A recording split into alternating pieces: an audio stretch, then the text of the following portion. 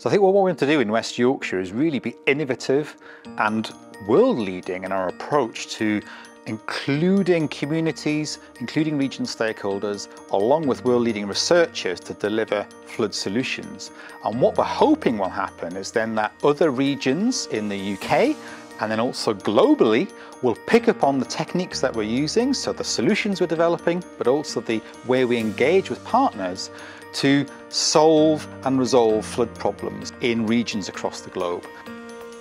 Collaboration in events and projects and partnerships such as this are really, really important. When we have different people from different groups, different specialisms, different experiences and knowledge bases working together on a common aim, it, it always advances the innovation and the outputs and the understanding of whatever it is and that's, that's the beauty of something like FLIP. I think for the Environment Agency, it's, it's been part of something that's quite new and fresh. And what's really exciting for us is looking at projects that are very much place-based. So they're projects that look to improve the environment, improve benefits for the community, as well as managing flood risk. And for us, that's really exciting. I think the benefits are raising the profile of flood risk management and some of the opportunities uh, that it could bring, and also thinking about how it links in with other agendas. So we've had some quite interesting conversations with the board looking at the relationship between digital infrastructure and flooding and that's something that would only accelerate and potentially draw in other investment in the, in the future. Flip as a programme has brought in just over £600,000 um, worth of funding in the past 18 months um, and we've got over £800,000 currently written into draft bids that we're hoping to submit in the coming months. So it's just fantastic to see all of this funding coming into our region um, to address all these flooding challenges. Natural flood management obviously is aimed at reducing flood risk, so that's really important. But a lot of natural flood management initiatives can, can result in wider benefits. So for example, to biodiversity, to help with nature recovery, might help with health and well-being and so on. So I think that thinking about natural flood management in a wider perspective, thinking about how we can build climate resilience across the region is really important. I think FLIP's got a really important role to play in that. We've got a number of projects across West Yorkshire which are really looking at sort of green finance, investment opportunities for nature-based solutions. And I think there's a lot of work which we can share and learn from and look at which model types could really work in West Yorkshire.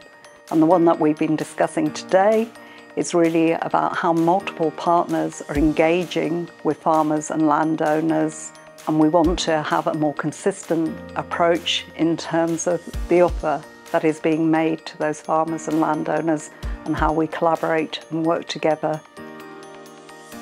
We're relying sometimes on property flood resilience and we need to make that particular measure extremely efficient at working against flood risk. And I think that's why having a, a tool that we'll be developing where we can look at a strategic overview of how those property level measures are actually installed and how they're maintained. I think that really help us provide that information to residents to make those communities more resilient themselves. It's important in that with limited resources during some, some events that we can actually respond or know where we need to respond to, to target that response.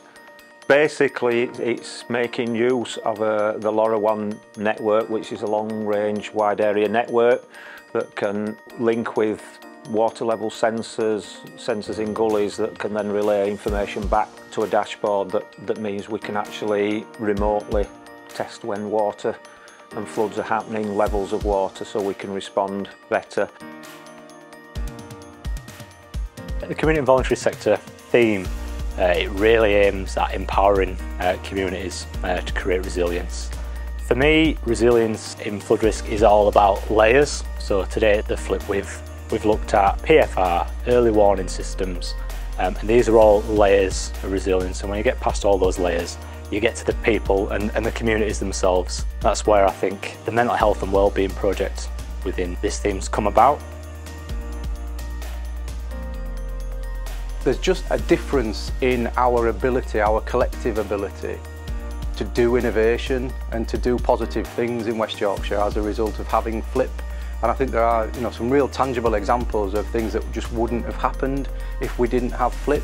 I think they're giving us that, that energy and enthusiasm to do more of that.